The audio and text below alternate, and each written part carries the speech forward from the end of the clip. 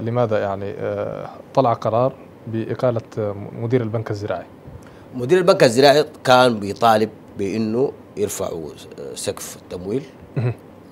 للعروض الشتويه نعم. 200 200 ألف بالضمان الشخصي آه، مدير البنك الزراعي عنده رؤية لإنه توطين القمح والاكتفاء الذاتي تماما آه، مدير البنك الزراعي عنده رؤية اللي هو في إنه يا أخي ال- السودان يشتري الصادرات أو المحصولات الصادر ويصدرها قد يكون قائل تبع الدولة ال- ال- العميقة والدولة ال- معروف عنه الرجل مهني ومعروف عنه الآن ما في ستيتمنت جيب البنكي قبل الزول ده وجيب ال- البنكي بعد الزول. حتجد ال- البول شاسع يعني. مم.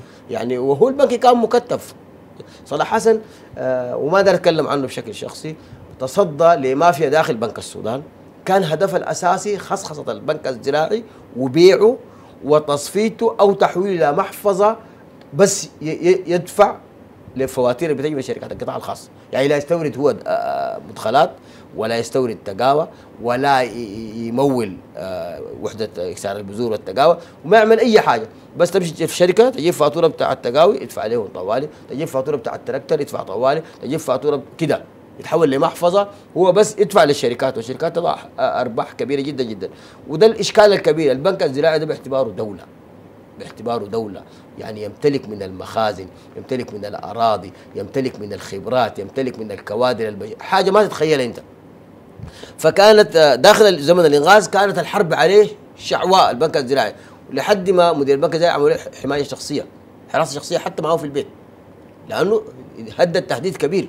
ليه؟ لأنه البنك الزراعي كان داير يستورد ال- ال- الآليات وده من من قانونه يعني ويستورد ال- المدخلات وده من قانونه يعني فتقاطعت المصالح بينه وبين القطاع الخاص القطاع الخاص داير يشيل أديك مثل بسيط الزراعة التعاقدية. ونحن اتخذناها بشكل كبير جدا. نعم. الزراعة التعاقدية اللي هي تجي شركة تتعاقد مع المزارعين الأرض حقت المزارعين. وده الحاصل الآن. وده حصل الآن. وال- والقنوات آه، عملات الدولة بتاعت ال- الري. والموظفين اللي بيديروا العملية دي كلها من إدارة المشروع للمفتشين لمهندسي الري كله تابع للدولة. بيجي صاحب الشركة ده بياخذ التمويل باسم أراضي المزارعين ديل من البنك الزراعي. وبيجي ممول المزارعين ديل وبيديهم اسعار متدنية جدا جدا. وهو قاعد برا. فأنا قلت لهم يا جماعة إذا إحنا مصرين ع- على المضي قدما في الزراعة التعاقدية يجب أن نحمل هذه الشركات المتعاقده مع المزارعين نفقات تطهير التراع يعني لازم يكون في شغل. بنية تحتية جاهزة. فإنت لو كان هم آه، أسسوا مشاريع وتعاقدوا مع المزارعين ما في مشكلة. لكن كونك تلقى بنيه تحتية جاهزة مشروع كامل متكامل وتجي تستعبد المزارع في أرضه يعني الآن اديك مثل بسيط الآن قنطار القطن شركات تعاقدية كان ماسكينهم ب 3000 ونص.